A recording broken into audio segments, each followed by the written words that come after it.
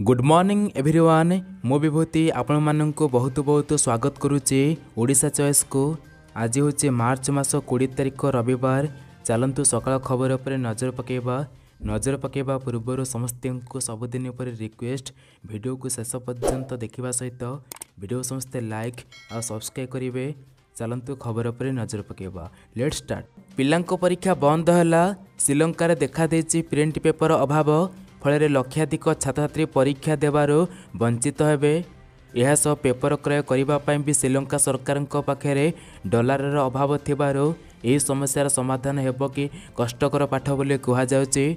ତେଣୁ ପରୀକ୍ଷା ଦେବାକୁ ଥିବା ଛାତ୍ରଛାତ୍ରୀଙ୍କ ମଧ୍ୟରୁ ଏକ ତୃତୀୟାଂଶ ପରୀକ୍ଷାର୍ଥୀ ପରୀକ୍ଷା ଦେବାରୁ ବଞ୍ଚିତ ହୋଇଥିବାରୁ ପରୀକ୍ଷାକୁ ଅନିର୍ଦ୍ଦିଷ୍ଟ କାଳ ପାଇଁ ସ୍ଥଗିତ ରଖାଯାଇଛି।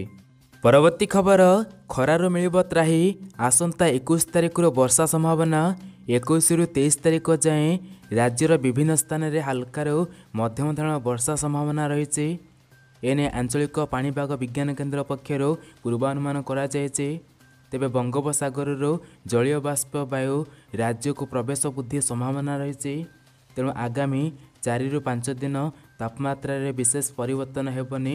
ଜଳୀୟ ବାଷ୍ପ ବାୟୁ ଉତ୍ତାପ ବାୟୁମଣ୍ଡଳ ସ୍ପର୍ଶରେ ଆସିବା ଦ୍ୱାରା କିଛି ଅଞ୍ଚଳରେ ଘଡ଼ଘଡ଼ି ସହ ହାଲକା ବର୍ଷା ହୋଇପାରେ।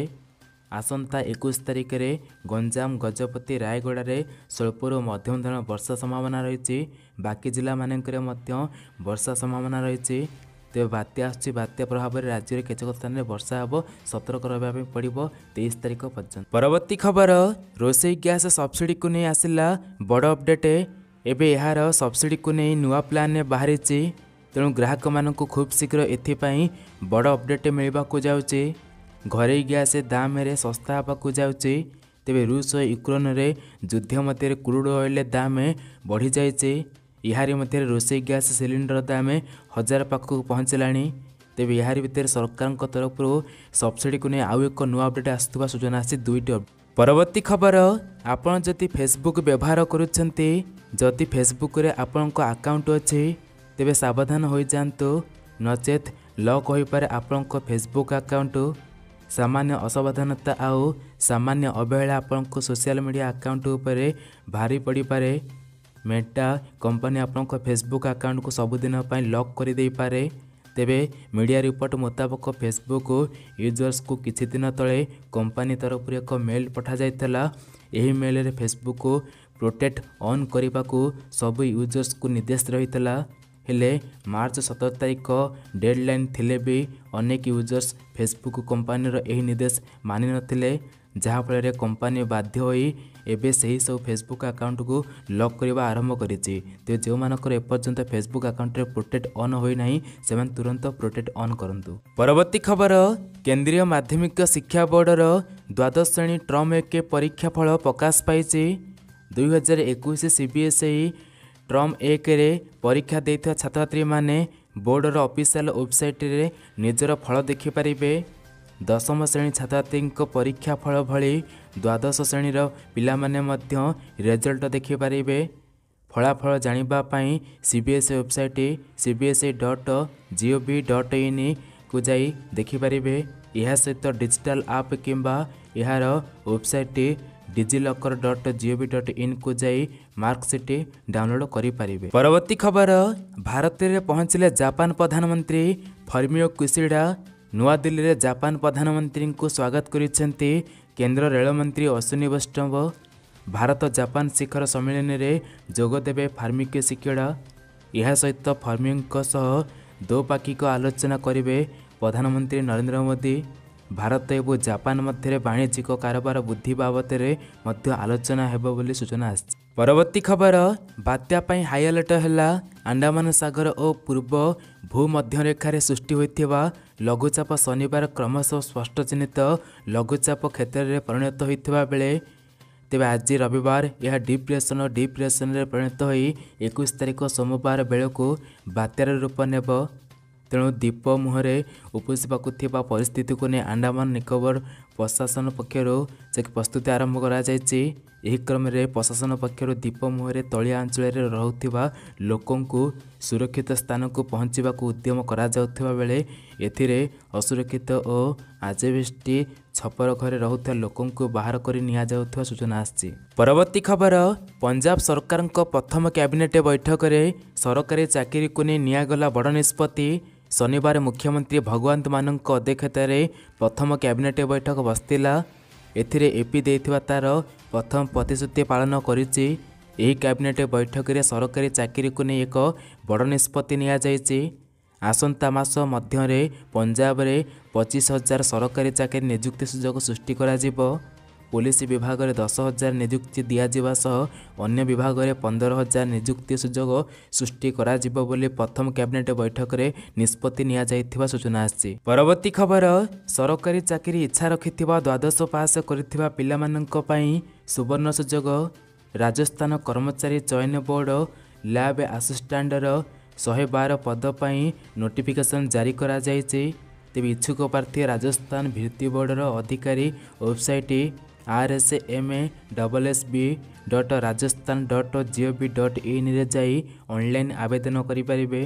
ଅନଲାଇନ୍ ଆବେଦନ ଦୁଇହଜାର ବାଇଶ ମାର୍ଚ୍ଚ ପଚିଶରୁ ଆରମ୍ଭ ହେବ। ତେବେ ପଚିଶ ତାରିଖରୁ ଆରମ୍ଭ ହେବ। ତେବେ ଇଚ୍ଛୁକ ପ୍ରାର୍ଥୀ ଆବେଦନ କରିପାରିବେ। ପରବର୍ତ୍ତୀ ଖବର ସାମ୍ବାଦିକଙ୍କୁ ଅପହରଣ କରିନେଉଛନ୍ତି ପୁଟନି ସେନା। ରୁଷ ଉପରେ ଆଉ ଏକ ଅଭିଯୋଗ ଲଗାଇଲା ୟୁକ୍ରେନ୍ ବୋଲି ସୂଚନା ଆସିଛି। ପରବର୍ତ୍ତୀ ଖବର ରାଜ୍ୟରେ ଉଚ୍ଚଶିକ୍ଷା ପ୍ରାପ୍ତ କରିଥିବା ସବୁ ଝିଅଙ୍କୁ ମିଳିବ। ହଜାର ଟଙ୍କା ସରକାର ଝିଅଙ୍କ ଆର୍ଥିକ ସୁବିଧା ଦୂର କରିବା ପାଇଁ ବଜେଟରେ ବଡ଼ ଘୋଷଣା କରିଛନ୍ତି। ଉଚ୍ଚଶିକ୍ଷା ପ୍ରାପ୍ତ କରିବା ଦିଗରେ ପ୍ରୋତ୍ସାହିତ କରିବା ପାଇଁ ଶୁକ୍ରବାର ଛାତ୍ରଛାତ୍ରୀଙ୍କୁ ପ୍ରତି ମାସରେ ଏକ ହଜାର ଟଙ୍କା ଆର୍ଥିକ ସହାୟତା ପ୍ରଦାନ କରାଯିବ। ପ୍ରତି ମାସରେ ଛାତ୍ରଛାତ୍ରୀଙ୍କ ବ୍ୟାଙ୍କ ଆକାଉଣ୍ଟକୁ ଏହି ଟଙ୍କା ଟ୍ରାନ୍ସଫର୍ମ କରିବେ ତାମିଲନାଡୁ ସରକାର। ତେବେ ରାଜ୍ୟର ଅର୍ଥନୀତି ପିଟି ରଞ୍ଜନ ରାଜ୍ୟସଭା ଆର୍ଥିକ ବର୍ଷ ଦୁଇହଜାର ବାଇଶ ତେଇଶ ପାଇଁ ବଜେଟ୍ ଉପସ୍ଥାପନ କରି ଏହାର ଘୋଷଣା କରିଛନ୍ତି। ଏହି ଯୋଜନା ଦ୍ୱାରା ରାଜ୍ୟର ଛଅ ଲକ୍ଷ ଝିଅ ଉପକୃତ ହେବେ। ତେବେ ତାମିଲନାଡୁରେ ସବୁ ଝିଅଙ୍କୁ ଏବେ ଯାହାକି ଛଅ ଲକ୍ଷରୁ ଉର୍ଦ୍ଧ୍ୱ ଝିଅଙ୍କୁ ଏବେ ପ୍ରତି ମାସରେ ମିଳିବ ଦୁଇହଜାର ତେଇଶ ପର୍ଯ୍ୟନ୍ତ ମିଳିବ ପ୍ରତି ମାସରେ ହଜାର ଟଙ୍କା ଲେଖାଏଁ ତେବେ ଏହିପରି ସୁବିଧା ଆମ ଓଡ଼ିଶାରେ ମଧ୍ୟ ଉପଲବ୍ଧ ହେବା ଉଚିତ କି ନାହିଁ ନିଶ୍ଚୟ ଭାବେ ଆପଣଙ୍କ ମତାମତ ରାୟ ଦେବେ। ପରବର୍ତ୍ତୀ ଖବର ଚାଇନାରେ କରୋନା ମହାମାରୀ ପୁଣି ଥରେ ଘାତକ ରୂପ ନେବାରେ ଲାଗିଲାଣି। ଚାଇନାରେ ଦୁଇ ଜଣ କରୋନା ରୋଗୀଙ୍କ ମୃତ୍ୟୁ ହୋଇଛି। ଏଏଫ୍ପି ନ୍ୟୁଜ୍ ଏଜେନ୍ସି ଅନୁଯାୟୀ ଏକ ବର୍ଷରୁ ଅଧିକ ସମୟ ପରେ ଚାଇନାରେ କରୋନା ସଂକ୍ରମିତଙ୍କ ମୃତ୍ୟୁ ହୋଇଛି। ଚାଇନାରେ କରୋନା ଭୂତାଣୁ ବୃଦ୍ଧି ପାଇବା ପରେ ବିଶ୍ୱର ସମସ୍ତ ଦେଶ ଚିନ୍ତା ପୁଣି ଥରେ ବୃଦ୍ଧି ପାଇଛି। କହିବାକୁ ଗଲେ ଚାଇନାରେ କରୋନା ମହାମାରୀ ପୁଣି ଥରେ ଏହାର କାୟ ବିସ୍ତାର କରିବାରେ ଲାଗିଛି। ଫେବୃଆରୀ ଦୁଇହଜାର କୋଡ଼ିଏ ଠାରୁ ଏଠାରେ ସବୁଠାରୁ ଖରାପ ପରିସ୍ଥିତି କୁହାଯାଉଛି। ତେବେ କିଛି ଦିନ ହେବ ଚାଇନାରେ ତିନି ହଜାରରୁ ଅଧିକ ନୂଆ ମାମଲା ସାମ୍ନାକୁ ଆସିଛି। ଏବେ ଭୟଙ୍କର ରୂପ ପୁଣି ମାଡ଼ି ଆସୁଛି କରୋନା ମହାମାରୀ। ପରବର୍ତ୍ତୀ ଖବର ବମ୍ବେ ହାଇକୋର୍ଟ ଏକ ବଡ଼ ନିଷ୍ପତ୍ତି ଶୁଣାଇଛନ୍ତି।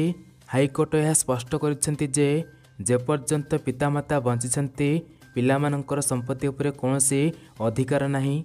ଏହି କ୍ରମରେ କୋର୍ଟ ସ୍ୱାମୀଙ୍କ ସମ୍ପତ୍ତି ବିକ୍ରି କରିବାକୁ ଚାହୁଁଥିବା ଜଣେ ମାଆଙ୍କର ଆବେଦନ ଉପରେ କୋର୍ଟ ତାଙ୍କ ପୁଅଙ୍କୁ ରାୟ ଶୁଣାଇଛନ୍ତି ଏବଂ ମହିଳାଙ୍କୁ ଯେ କି ତାଙ୍କ ମାଆଙ୍କୁ ସ୍ୱାମୀଙ୍କ ସମ୍ପତ୍ତି ବିକ୍ରି କରିବା ପାଇଁ ଅନୁମତି ଦେଇଛନ୍ତି। ପରବର୍ତ୍ତୀ ଖବର ରୁଷିଆ ଓ ୟୁକ୍ରେନ ମଧ୍ୟରେ ଯୁଦ୍ଧ ବଢ଼ି ଚାଲିଥିବା ବେଳେ ସ୍ଥିତି ଧୀରେ ଧୀରେ ଗମ୍ଭୀର ହେବାରେ ଲାଗିଛି।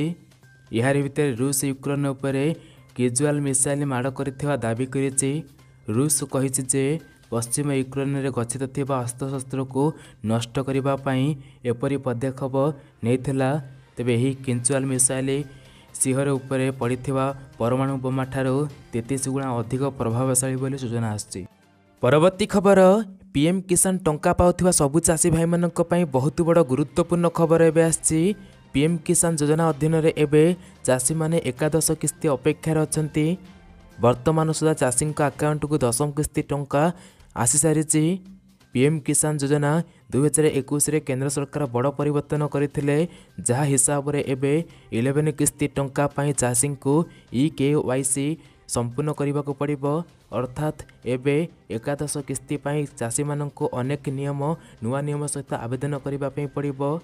ପିଏମ୍ କିଷାନ ଯୋଜନାରେ ହିତାଧିକାରୀମାନଙ୍କୁ ବର୍ତ୍ତମାନ କିସ୍ତି ଅର୍ଥାତ୍ ଇଲେଭେନ୍ କିସ୍ତି କିସ୍ତିର ଟଙ୍କା ସେବେ ମିଳିବ ଯେବେ ଆପଣ ଇ କେ ୱାଇ ସି ସମ୍ପୂର୍ଣ୍ଣ କରିବେ ତେବେ ଇ କେ ୱାଇ ସି ବିନା ଆପଣଙ୍କ କିସ୍ତି ଅଟକି ଯାଇପାରେ ତେବେ ଖୁବ୍ ଶୀଘ୍ର ପିଏମ୍ କିଷାନ ସମ୍ମାନ ନିଧି ଯୋଜନାର ଇଲେଭେନ୍ କିସ୍ତି ଜାରି କରାଯିବ ତେବେ ପିଏମ୍ କିଷାନ ପୋର୍ଟାଲରେ କୁହାଯାଇଛି ଯେ ଆଧାର ଆଧାରିତ ଓଟିପି ପ୍ରମାଣପତ୍ର ପାଇଁ ଚାଷୀଙ୍କୁ କିଷାନ କର୍ଣ୍ଣରରେ ଇ କେୱାଇସି ବିକଳ୍ପ ଉପରେ କ୍ଲିକ୍ କଲେ ଆପଣ ସେଠି ଇ କେୱାଇସି ଭେରିଫିକେସନ୍ କରିପାରିବେ।